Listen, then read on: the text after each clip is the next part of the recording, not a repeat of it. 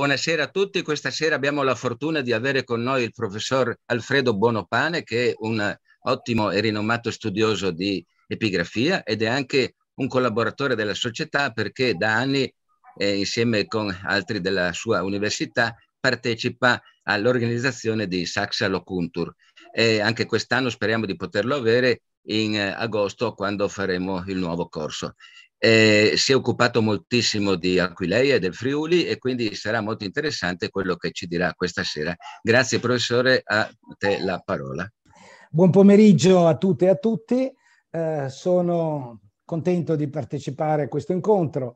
Come ha detto giustamente l'amico Maurizio, Aquileia è dai tempi ormai lontani dei miei studi universitari uno dei miei punti focali di ricerca così come da qualche tempo anche il Friuli più in generale. Ecco, il tema che ho scelto per questa nostra conversazione è stato suggerito dal fatto che una sezione, una parte della Società Friulana di Archeologia si occupa anche di miliari e quello che vedremo oggi ha in parte a che fare con, con i miliari. Ecco. Noi eh, partiamo subito, entriamo proprio in medias res. Ecco, eh,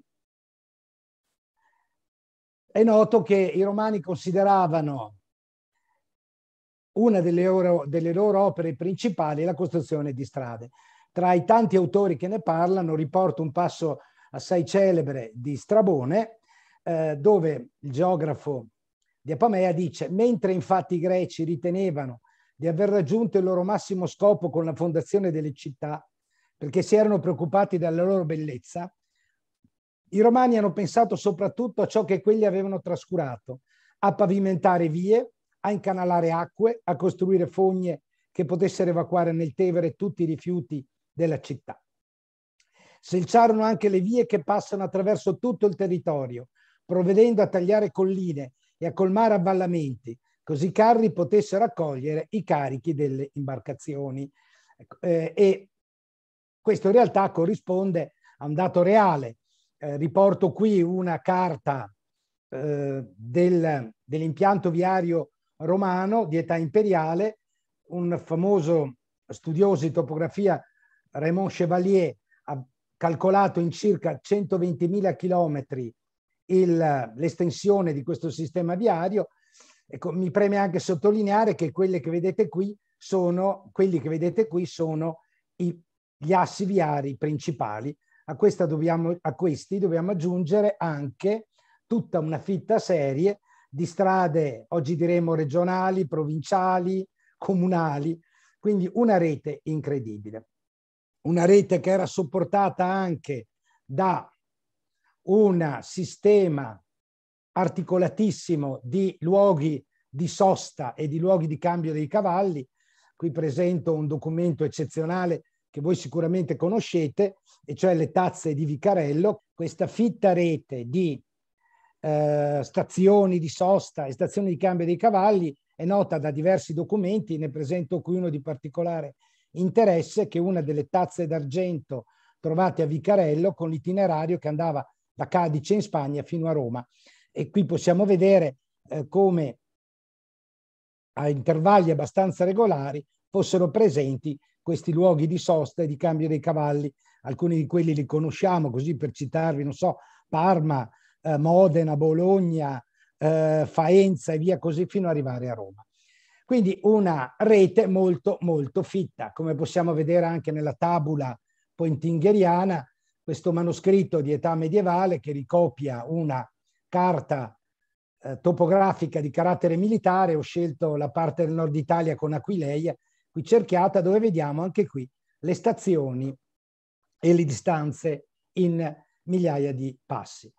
Quindi noi penseremo a un sistema ben organizzato, un sistema in cui fosse facile spostarsi e soprattutto fosse sicuro. Questo non corrisponde per nulla alla realtà dei fatti. E comincio proprio con un famoso altare proveniente, rinvenuto a Roma, eh, in cui un evocato di Augusto, un Tito Albano principiano, un evocato di Augusto. In questo periodo gli evocati sono, appartengono o provengono dagli equites singulares, cioè della guardia del corpo personale dell'imperatore.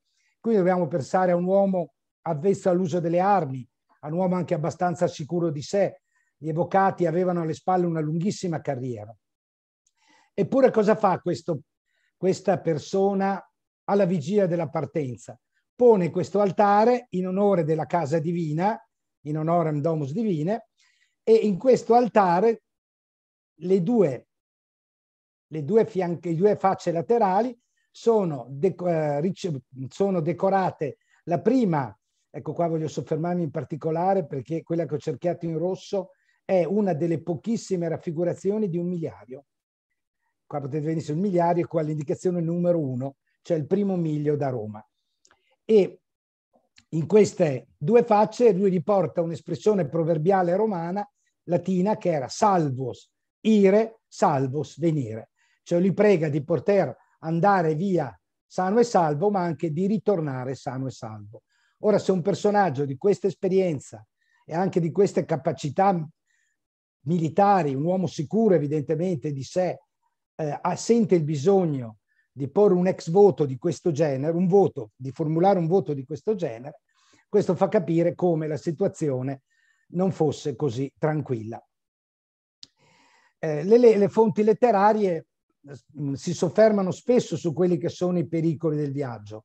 Ne riporto qualcuno a titolo di esempio. In un passo della sua storia naturale, Plinio dice che quando si viaggia bisogna stare al sicuro non solo dall'attacco dei serpenti, ma anche da quello delle bestie feroci e dei predoni. Ecco, questo dei latrones è uno dei punti focali di quello che eh, esamineremo oggi. E anche un piano nel digesto, quando elenca una serie di cause per cui durante un viaggio può accadere qualcosa, dice che una delle possibilità è essere uccisi dai predoni, dai briganti, o essere schiacciati dal crollo di una stalla o anche essere, il verbo qua è molto significativo, obtritus, proprio stritolato, tritato da un carro, da un veicolo. Eh, quali sono i pericoli? Ma I pericoli erano moltissimi. Um, si andava dal fatto che spesso le strade erano esposte a frane, a smottamenti, a esondazioni dei fiumi, eh, al fatto che anche i luoghi di sosta non erano particolarmente sicuri o erano quantomeno di malaffare.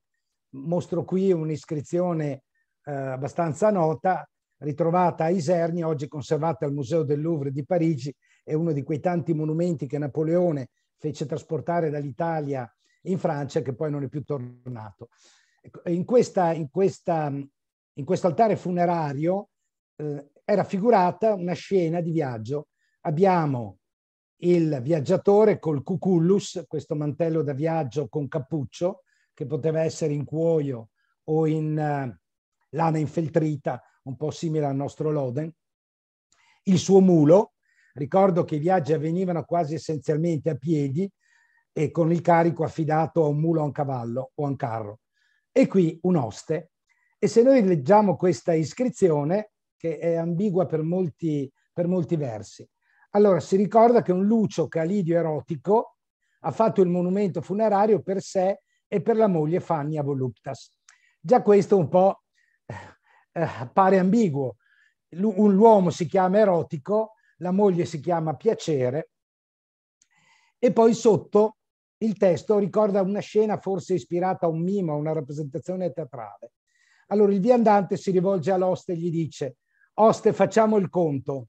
E l'oste risponde, hai un sestario di vino per un asse, poi hai un asse di pane, hai due assi di companatico, di carne, di cibo. E il viandante dice convenit, va bene. E poi per dirvi come si trattava di locali di malaffare, il, l'oste gli dice poi hai avuto la compagnia di una fanciulla, set, otto assi. E lui dice anche questo va bene. E poi il, l'oste aggiunge e il fieno per il mulo due assi. E, e qui il, via, il viaggiatore che non ha esitato a spendere ben otto assi per la compagnia femminile, dice questo mulo mi porterà alla rovina. Ecco, ma questo era una cosa che doveva ripetersi spesso. Se qualcuno di loro ricorda la satira di Orazio, quella del viaggio da, da Roma a Brindisi, si ricorderà che anche lo stesso Orazio incappa in un'avventura erotica finita male. Quindi ambienti non, non particolarmente affidabili. Le fonti letterarie raccontano anche di viaggiatori uccisi mentre dormivano in una locanda e fatti sparire. Ma il problema principale, quello su cui ci soffermeremo in particolare oggi, è quello rappresentato dai briganti. Eh, I briganti eh, hanno una, potremmo dire, un trattamento ambiguo nelle fonti. A volte sono considerati esseri spietati, ma a volte sono anche mitizzati.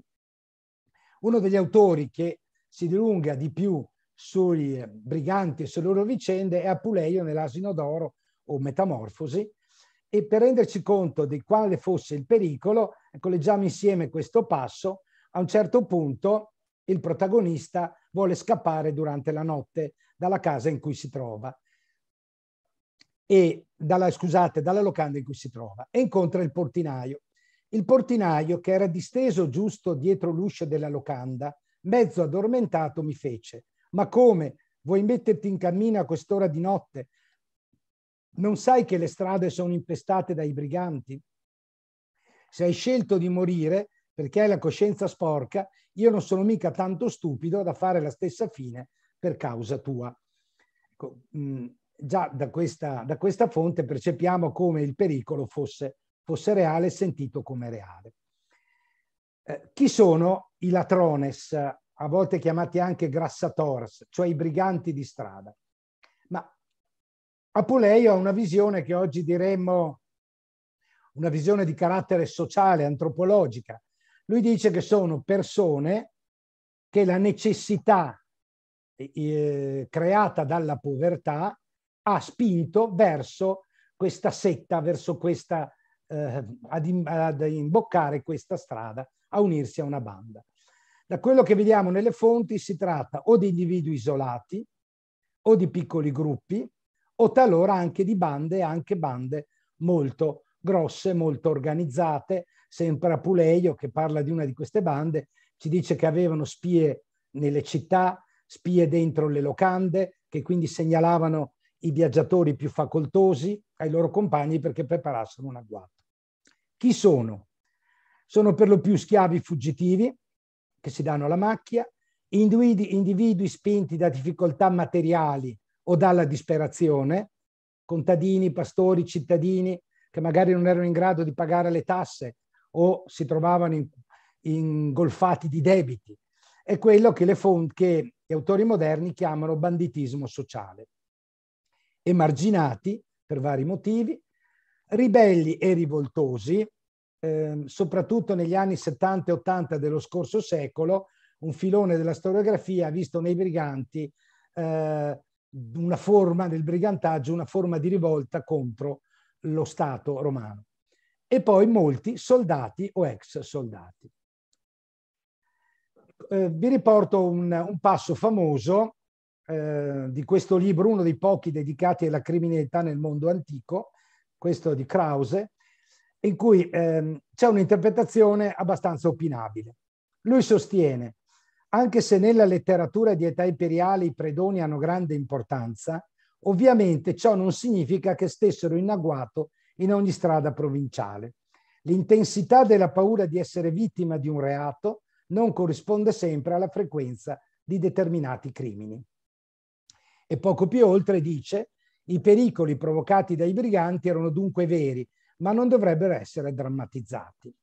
Ecco, questo è un esempio tipico eh, di come affrontare un problema del mondo antico solo sulla base delle fonti letterarie conduca poi a interpretazioni, se non errate, quantomeno distorte. E lo vedremo proprio nel corso dei documenti che insieme affronteremo adesso. Allora, cominciamo per esempio con qualche caso famoso. Ad esempio, eh, Cicerone, in una lettera all'amico Attico, eh, dice io vedo che una sola lettera non mi, non mi, è stata restituita da te. Una lettera che Lucio Quinzio, un mio carissimo amico, eh, mentre la portava, lui venne, scusate l'anacoluto ma del testo latino voglio tenermi alla lettera, lui venne ferito e spogliato presso il sepolcro di Basilio. Ora il sepolcro di Basilio è pressappoco all'altezza della tomba di Cecilia Metella sulla Via Appia. Quindi siamo a poche miglia dalla città. E qui non si tratta di una persona che viaggiava da sola. Di solito personaggi di una certa importanza viaggiano accompagnati dagli schiavi, dai liberti. E quindi vedete che eh, va bene, uno potrebbe dire un caso isolato, ma ne vedremo altri. E uno famoso è questo dell'amico di Plinio il Giovane. Plinio il Giovane in una lettera al suo amico ispano dice tu mi scrivi che Robusto, un splendido cavaliere romano, mentre camminava, mentre faceva un viaggio in comune con il mio amico Attilio Scauro, arrivato all'altezza di, di Ocricoli, non è più apparso, è sparito nel nulla. Ocricoli è, è vicino a Terni, eccolo qui, è lungo la via Flaminia, su una strada ampia, ecco qui il tratto della via Famiglia Flaminia proprio ad Ocricoli, strada selciata, glareata, con marciapiedi, quindi non come potremmo pensare un viottolo di campagna o di montagna. Ecco, e come continua poi la narrazione? Lui dice, mi chiedi di, di far venire Scauro e di fare qualche indagine per vedere se lo troviamo. Lui verrà, ma temo invano. Io infatti sospetto che gli sia accaduto qualcosa di simile, che a Robusto, al nostro amico, sia accaduto qualcosa di simile che accade un tempo al mio compaesano Metilio Crispo. Metilio Crispo era di Como, come Plinio il Giovane.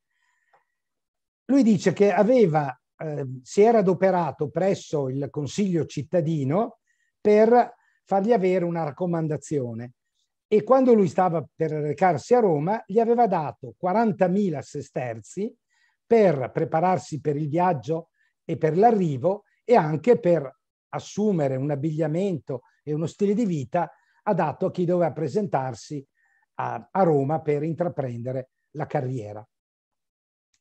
Ma dice, ma poi io non ho più ricevuto da lui né lettere né nessuna notizia. Non so se sia stato ucciso dai suoi o con i suoi. Questa è una frase molto interessante perché raramente si viaggiava da solo, da soli, ma a volte il pericolo era rappresentato proprio dai compagni di viaggio. Il dubbio che si pone Plinio è questo. È stato è caduto in qualche agguato lui insieme agli schiavi o a quelli che lo accompagnavano? Oppure sono stati costoro a ucciderlo, a prendere i 40.000 sesterzi, che sono una somma veramente rispettabile? Il dubbio rimane. Certamente sia lui stesso sia nessuno dei suoi servi è più apparso, proprio come è accaduto a Robusto. Ecco, questa era una cosa abbastanza comune, quella di sparire nel nulla, partire e non arrivare mai più. Qual è l'imprudenza qui? Quella di essere partiti con una somma ragguardevole e probabilmente qualcuno, io sono più concorde che sia stato ucciso dai suoi, a meno che non vogliamo pensare, come dicevo prima, a un servizio da parte dei briganti di spionaggio, di informazione. Certo che la somma è veramente alta. Vediamo altri casi interessanti. Uno molto famoso è questo di un, oggi diremo un, un ingegnere del genio che viene chiamato per fare dei lavori di ristrutturazione dell'acquedotto della città di Sades in Africa. Eh, questa è la statu- l'iscrizione è questa, oggi è conservata nella città di Lambesis con questa specie di altarino a fontana, è un'iscrizione molto bella, molto famosa. Ecco, eh, il personaggio era partito da Lambaesis per recarsi a Saldae. Un viaggio non molto lungo e neanche particolarmente impervio, la strada è una strada lastricata, una buona strada, ben frequentata. Eh, in questo monumento, che ha più facce, il personaggio racconta la sua vicenda.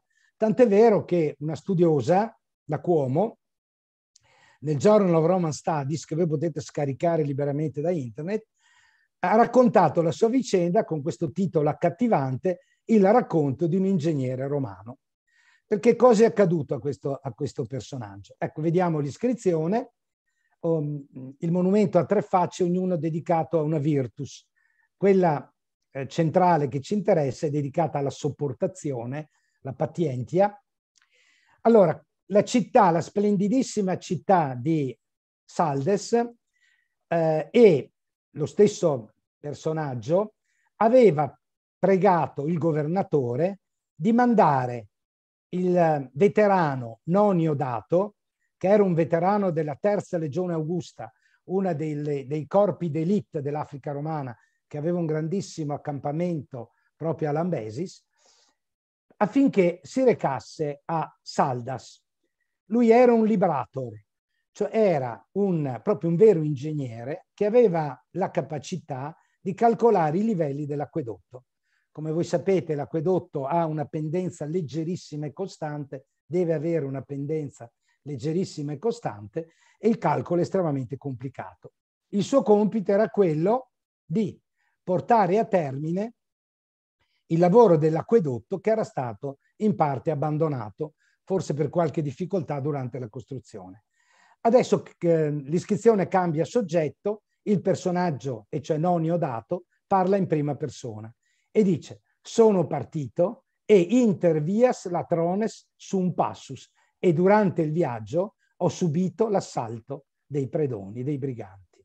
Nudo, ferito, sono riuscito a stento a scappare con i miei, sono andato a Saldas e poi l'iscrizione continua dicendo che è stato accolto dalla popolazione e poi nel resto di questa lunghissima iscrizione viene raccontato come si ripara l'acquedotto e eh, con, una, con una sorta di storytelling molto molto interessante.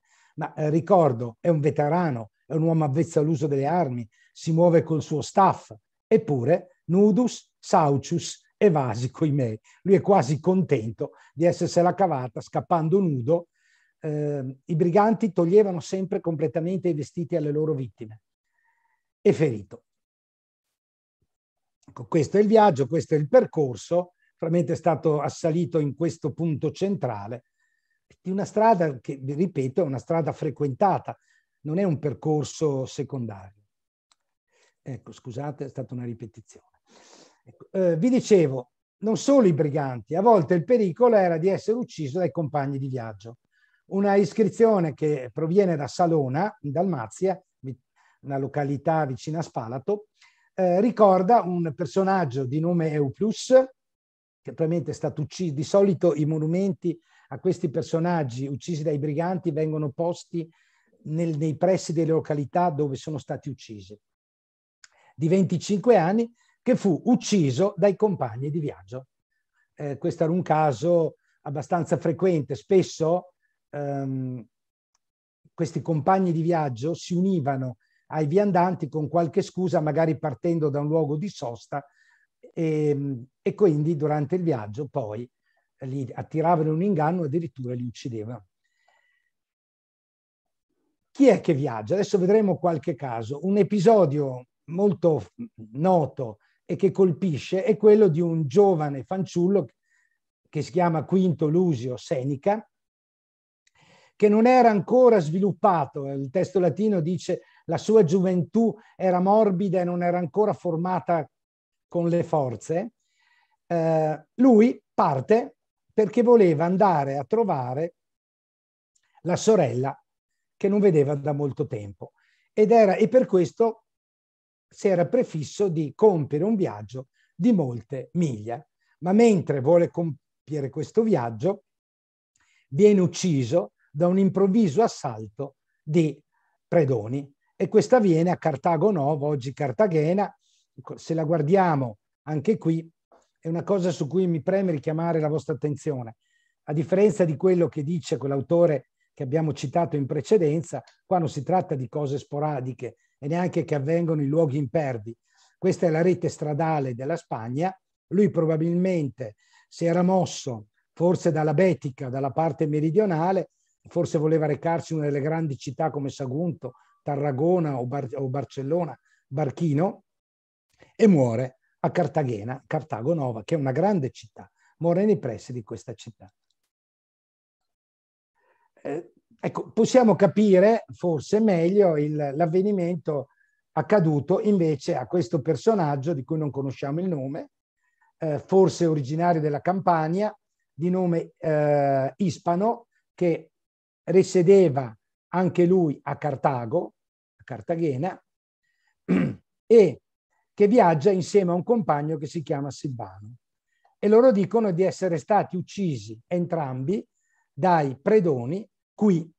Il luogo è questo Lugdunum Convenarum, che è al punto di sbocco dei Pirenei, oggi si chiama San Bertrand de Comige, Ecco qui. Loro sono partiti, presumibilmente loro due, Ispano e Silvano, da Cartago Nova, avranno seguito probabilmente la strada fino a Sagunto, poi saranno risaliti verso Cesare Augusta, cioè Saragozza, da qui a Osca, Huesca, e poi avranno attraversato i Pirenei per incontrare il loro destino qui, in questo punto, all'Ogdunum Convenarm, che è la prima località dell'Aquitania, al di là dei Pirenei. A volte eh, c'è anche ricordato il fatto che i, la vittima è stata attirata con l'inganno. Eh, un'iscrizione rinvenuta a Requena, in Spagna, ricorda questo Iunius Sosinaibole, ha un nome celtico, nome, ha un nome indigeno, proveniva dalla città di Gilis, eh, viene localizzata nel centro della Spagna, ma è una città di incerta collocazione, e muore a Requena. E lui, nella tomba posta dal figlio e dai genitori, si ricorda che lui è stato ucciso dolo latronum manu, per mano dei predoni, ma con l'inganno. Probabil- uno degli espedienti che conosciamo anche da qualche fonte letteraria è che eh, qualcuno, qualche brigante, fingeva di essere una guida, di conoscere qualche percorso secondario eh, più, age- più rapido e in questa maniera attirava il malcapitato fuori dal percorso più frequentato e, e qui poi da, dalla stessa falsa guida o da sei compari veniva ucciso. Ecco, Rechena è qui, eh, vi ho detto Gili è stata collocata in questa zona ma non si è sicuri, probabilmente lui stava recandosi verso la costa o verso Valencia Valen- o verso Saguntum e da qui lungo la strada principale. Eh, a volte le iscrizioni ci ricordano anche che eh, la morte spesso è atroce. Eh, in questa iscrizione che viene da Clinia, vicino a Kostolac, nella Mesia, eh, viene ricordato questo personaggio che e viene, ha subito un'atrocissima morte da parte dei briganti. Ecco, qui però possiamo capirlo, la zona è una zona impervia, però mh, quello che mi vorrei sottolineare è che il brigantaggio non è come si potrebbe pensare un problema confinato in zone periferiche, in zone impervie, in zone poco frequentate. Sì, anche in queste zone, ma come abbiamo visto prima, nei dintorni di Roma, nel centro dell'Italia, nel pieno della penisola iberica, e quindi è un fenomeno frequente, diffuso, non così raro come eh, qualche studioso eh, pensa. Eh, alla, al fatto che spesso i viandanti vengono tratti in inganno, eh, eh, si, si, ricorda, questo fatto viene ricordato dal verbo latino decipio.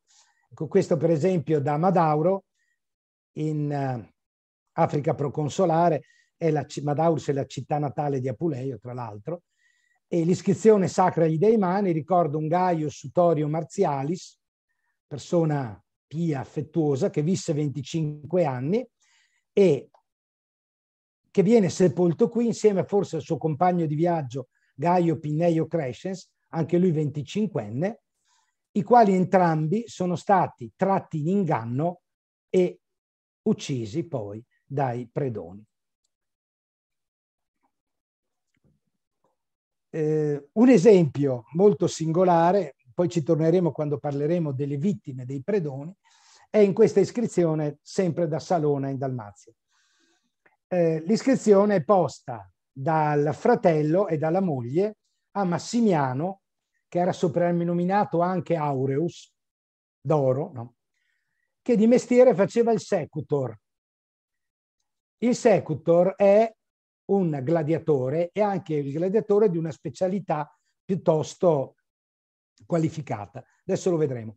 Di anni 22 aveva già vinto cinque scontri, anche lui tratto in inganno e ucciso dai predoni.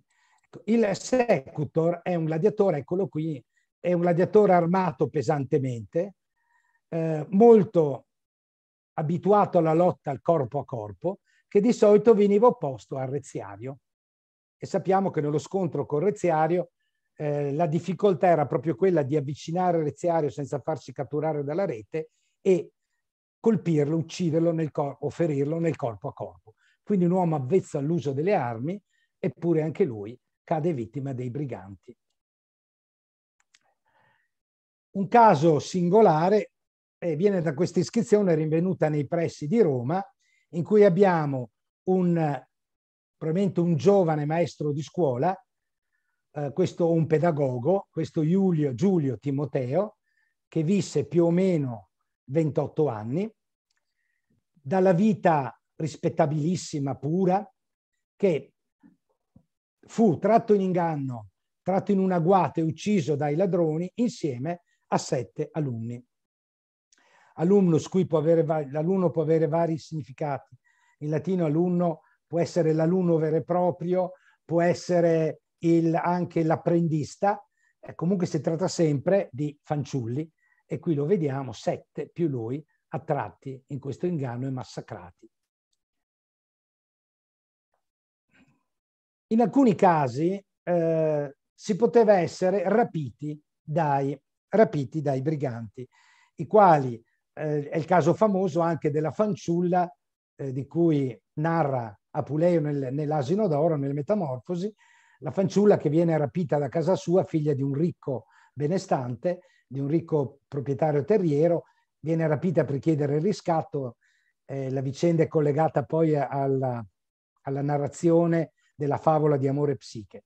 Ecco, in questo caso abducto, portato via, rapito dai predoni, però da quello che vediamo non è più tornato. Probabilmente i predoni, i briganti sono fatti anche consegnare il riscatto, però il nostro personaggio non è più ritornato a casa, come vediamo dall'iscrizione, perché è posta questo Gaio Tadio Severo, rapito dai briganti, di anni 35, e, e qui viene ricordato anche il figlio, che il monumento è posto dal figlio, con eh, questa frase che è un po' un topos letterario, ma sempre, colpisce sempre, il figlio avrebbe dovuto porre questa iscrizione alla madre e al padre, e invece è accaduto il contrario.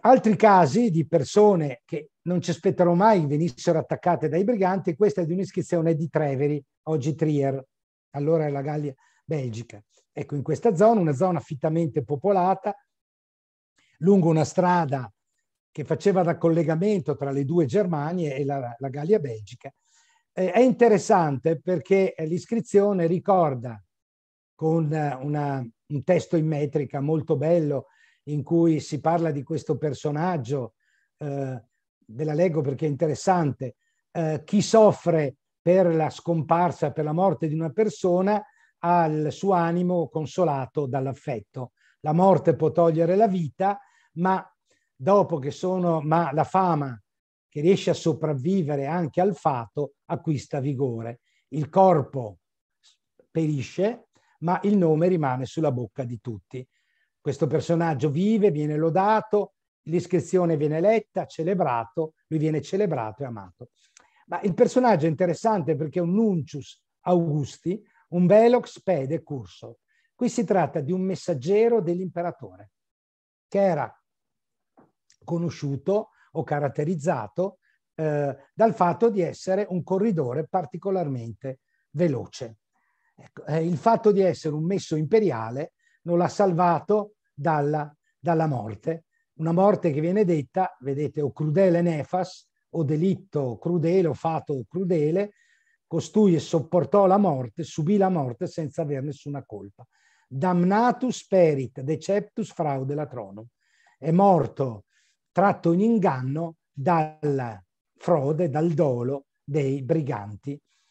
Eh, pensate, se poteva capitare questo a un messo imperiale che evidentemente viaggiava anche con delle credenziali, voi capite che nessuno era al riparo dai, dall'attacco, dall'insidia dei predoni. Quindi non un fenomeno sporadico, come sembra dire Krause, ma un fenomeno veramente endemico, estremamente diffuso. Eh, altri personaggi illustri, per esempio da una cittadina della Dacia, da un luogo della Dacia Mascliane vicino a Dobreta, eccolo qui nella odierna Romania, eh, addirittura un personaggio che si chiamava Publio Elio Ariorto, che era quattuorviro del municipio di Drobeta. Il quattuorviro è il membro appartenente al collegio di quattro persone che governa un municipio. Eh, lui è annuale, per cui dovrebbe essere Iure di Cundo, quindi lui è l'equivalente del sindaco. E viene anche lui ucciso dai predoni, probabilmente durante un viaggio.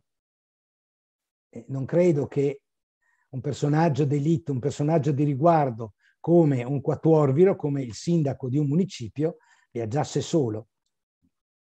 Ma lo stesso capita sempre, evidentemente il municipio di Drobeta era perseguitato da queste vicende, a un altro, a un Lucio Giulio Basso, che era decurione. Il decurione è l'appartenente al, oggi per usare un termine moderno, al consiglio comunale del municipio, ma non solo, era anche questore, cioè oggi diremo assessore alle finanze. Anche lui ucciso dai briganti, eh, sempre in questa zona. La cosa che più interessa è che l'iscrizione ricorda un fatto singolare, e cioè che il fratello Giulio Valeriano, morte meius executus, ha vendicato la morte del fratello. Eh, questo ci dice alcune cose. La prima, che il, contro il brigantaggio poco poteva l'organizzazione romana e che spesso la vendetta avveniva con quella che uno storico famoso ha chiamato la giustizia fai da te. Cioè erano a volte le vittime o i par- le parenti delle vittime a vendicare la morte dei loro, dei loro eh, congiunti uccisi. Ne abbiamo un altro caso, molto bello, questo mi piace, di una donna, Ulcudia, che è stata uccisa dai predoni, sempre a Drobeta, ah dimenticavo Drobeta corrisponde all'odierna Turnus Severin, Severin ma è stata anche vendicata. Quindi evidentemente i genitori o il fratello hanno dato la caccia ai banditi e li hanno uccisi. Il medico, il medico Galeno, Galeno eh, nel suo trattato sull'anatomia ricorda un episodio che lo aveva colpito da giovane, e cioè il fatto di aver visto i corpi di alcuni briganti che erano stati uccisi dai parenti delle vittime e poi i corpi erano stati abbandonati lungo la strada per essere divorati dagli animali e dai corvi e lui dice che aveva potuto così avvicinarsi allo studio dello scheletro umano. Veniamo ad Aquileia, che anche Aquileia non è esente da episodi di questo genere, nostra cara Aquileia.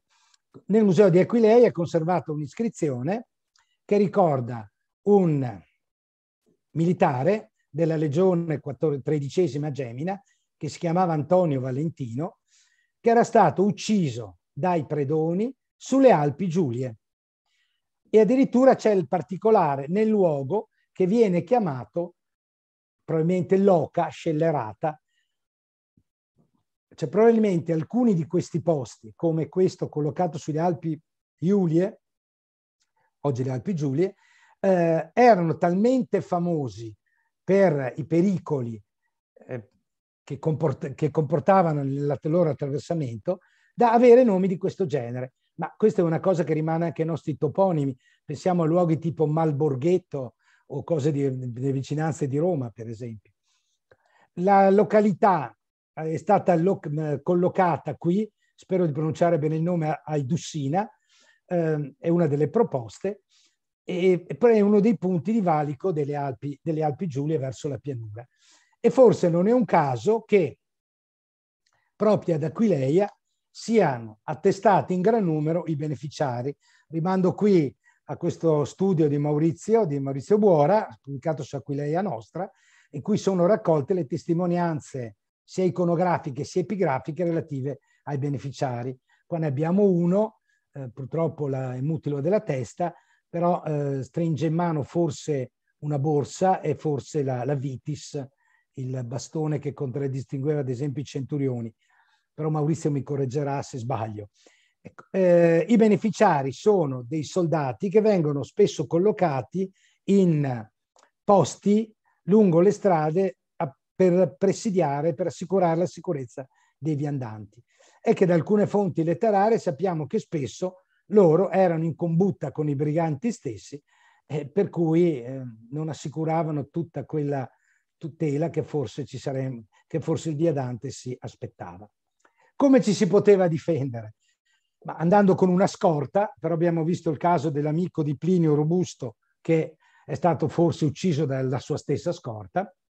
Un caso interessante narrato sempre da Plinio il Vecchio, in un capitolo che lui dedica ai cani, alla fedeltà dei cani, è quello in cui ricorda che un suo, una, un suo contemporaneo, il nobile Vulcazio, un professore di diritto, il quale aveva addirittura insegnato il diritto civile a Casceglio, che è un altro famoso giusperito, mentre tornava a cavallo a Sturcone, bellissimo questo termine arcaico, mentre tornava da cavallo verso la città dalla periferia, dal suburbio, mentre si faceva sera, il suo cane lo difese da un predone, da un brigante.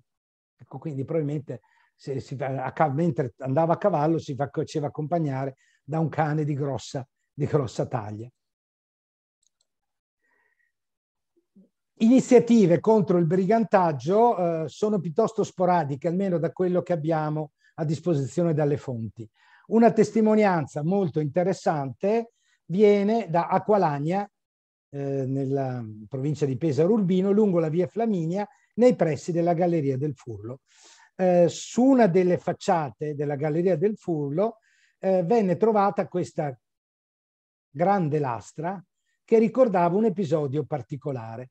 Eh, ecco, questa è la Galleria del Furlo, quindi una località impervia, eh, si deve passare per una strada molto stretta e quindi un luogo ideale per gli agguati da parte dei briganti. Qui eh, un evocatus proveniente probabilmente dai pretoriani, eh, che si chiamava Aurelio Munatianus, con la sesta corte pretoria filippiana, qui è il nome della corte che richiamava l'imperatore Filippo l'Arabo, che aveva avuto la dannazio memorie, è stato cancellato. Quindi lui apparteneva alla sesta corte pretoria, lui era un evocato, un richiamato che proveniva dalla sesta corte pretoria, ha il compito, agens, è incaricato at la trunculum. Quindi qui abbiamo un caso in cui un, potremmo dire, un, un uomo richiamato in servizio dalla corte, dalla corte pretoriana viene dato l'incarico di reprimere il brigantaggio con 20 soldati, con militibus numero vigenti, con 20, della classis pretoria Ravennatis, della flotta pretoria di Ravenna. Quindi viene inviato un presidio, probabilmente da Ravenna stessa, di solo 20 uomini, anche se in questo caso si tratta degli uomini, dei soldati, qui detto esplicitamente milites, che erano imbarcati sulle navi da guerra romani. Eh, dovremmo pensare a un equivalente dei Marines o dei Fanti da mare. Con questi 20 lui, con l'incarico di agens, cioè vuol dire che lui ha pieni poteri, viene incaricato di reprimere il brigantaggio in questa, in questa zona. Ma è uno dei pochi casi che abbiamo di queste iniziative da, da parte dello Stato centrale. Tant'è vero che alcuni studiosi pensano che il brigantaggio fosse combattuto più dalle comunità locali che non dallo Stato. Alcuni addirittura pensano che ci fosse una sorta di tolleranza eh, perché il brigantaggio poteva costituire una sorta di sfogo delle tensioni sociali. Chi sono le vittime? Mi avvio a concludere. perché prima si diceva, vi ricordate quel passo che, che, con cui avevo aperto, in cui si parlava di una cosa di poca importanza, che non era una cosa da drammatizzare. Ma se guardiamo le vittime, noi abbiamo un cavaliere romano, cioè un appartenente a uno dei due ordini principali della, della società romana, un sindaco di Dobreta, un consigliere comunale, sempre Dobreta, ma soprattutto un questor, cioè un tesoriere, un uomo importante. Poi abbiamo un professore di diritto civile, un pedagogo, sempre che sia un pedagogo, il giovane ucciso insieme agli otto alunni, un centurione, un princeps, un veterano, un sol- due soldati semplici, un gladiatore e poi un, un amico di Cicerone, quindi un uomo anche questo appartenente all'elite, un messaggero imperiale. Quindi non abbiamo solo poveri, anche poveri sventurati, ma abbiamo anche persone di rango. Per quanto riguarda le vittime, in base alle fonti epigrafiche, abbiamo 32 uomini, 3 donne, ma il dato che stupisce sono i 10 bambini. E se guardiamo anche l'età, eh, se voi guardate questo grafico a torta, vedete che eh, la maggior parte va dagli anni 1 fino agli anni 30. Quindi anche questo accanimento contro vittime giovani. E adesso una domanda che pongo anche voi alla luce di tutto quello che abbiamo visto. Allora, quello del brigantaggio è una creazione mitica o è realtà? E poi la seconda domanda è questa da porsi. Sono eh, dei briganti da avvicinare al mito di Robin Hood, eh, persone che si oppongono al sistema che schiaccia, che rubano ai ricchi per dare ai poveri o sono dei tagliagole, dei volgari tagliagole? Eh, la io non credo che bisogna mitizzare, qua siamo di fronte a criminali, a individui spietati che non eh, si fanno nessuno scrupolo di ammazzare donne e bambini anche piccoli, eh, che raramente lasciano in vita le loro vittime, anche con una crudeltà non necessaria. Una volta che il malcapitato era stato depredato e spogliato completamente di tutto, non era certo necessario ucciderlo, a meno che non si volesse cancellare le tracce del, del delitto. Il mito a cosa è collegato? È quel fascino che un po' ritorna poi nella letteratura romantica dell'Ottocento, come quella che ha generato Robin Hood, o in quella anche di certa letteratura eh, che è ambientata nell'Ottocento italiano. Ma vi leggo un passo, e questo è il passo da cui eravamo partiti, quello che diceva che non dovrebbe essere drammatizzato, ma non credo che sia proprio questo. Ecco, ma dicevo, questa mitizzazione, ma la vediamo anche in questo passo delle metamorfosi. Avevano appena preso posto che altri ne arrivarono, briganti, nella loro tana, nel loro covo, molto più numerosi, e non mi ci volle granché a capire che anche questi erano dei briganti della stessa risma. Anch'essi infatti se ne vennero con il loro bottino, monete d'oro e d'argento, vasi preziosi, stoffe di seta e broccati. Vedete che traspare un po' di ammirazione da parte del, di Lucio, che trasformato in asino assiste a tutto questo.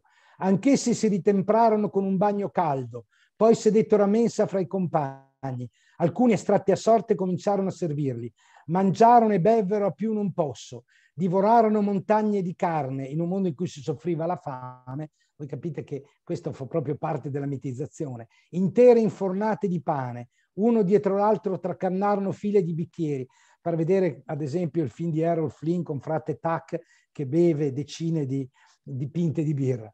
Fecero un baccano d'inferno, cantarono a squarciagola, si scambiarono lazzi ingiuriosi, sembravano tanti lapiti e centauri ubriachi, a metà bestie e metà uomini. Ecco, però io non credo che questo sia il quadro che noi dobbiamo farci, ma da quello che possiamo vedere il brigantaggio era estremamente diffuso, presente in tutto il mondo romano, sia nelle aree più fortemente romanizzate, sia nelle aree minori.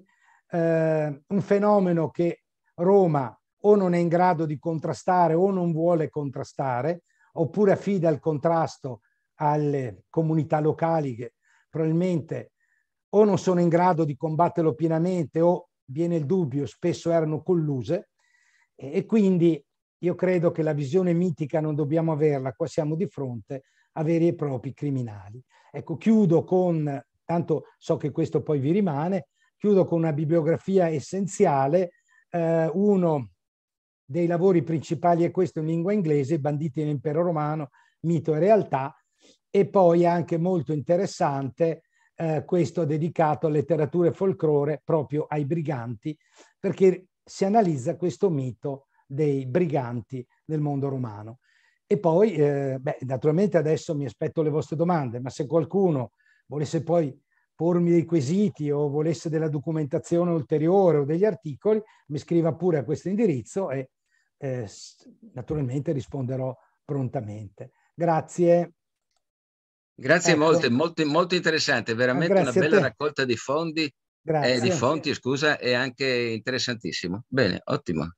Ecco, se qualcuno ha delle domande, sono qui. Il mio professore, che era anche professore di Maurizio Buora, diceva sempre o tutto chiaro o tutto scuro. Tutto scuro. Mi lasciate sì. con questo dubbio. Eh. Te lo ricordi Sartori, no? Eh, me lo ricordo, sì. Ce l'aveva sempre tutto chiaro, tutto scuro, vabbè, quando nessuno domandava. E che si tratta di un campo molto specialistico, quindi le persone non sono addentro nel, nella tematica. Eh, certamente è una, un'area marginale. Ecco, no, ma mi chiedo sempre se, se loro pensasse, voi pensavate, anch'io quando ho cominciato questa ricerca non, non ero sicuro che viaggiare fosse davvero così pericoloso. No? Noi ci facciamo sempre l'idea di, di, di un mondo quasi idillico, no? E invece in realtà non lo era. Cioè davvero si faceva testamento prima di partire, come nel Medioevo. Eh? E quindi eh, questo mm, mi piace vedere sempre l'aspetto un po' nero del mondo romano. Ecco, non solo così questa visione un po' edulcorata, no?